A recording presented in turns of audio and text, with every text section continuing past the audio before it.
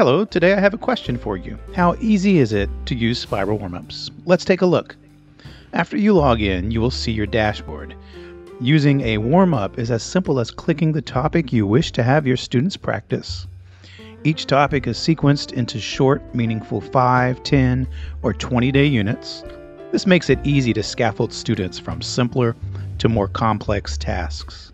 Again, the steps are number one, select the topic or unit, two, Press start on the warm up.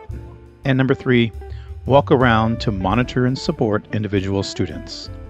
Students will engage in a variety of listening, speaking, reading, and writing activities so they can fully practice the skills in the warm ups. Tasks and skills accumulate over time like a spiral. Using spiral warm ups is as simple as that.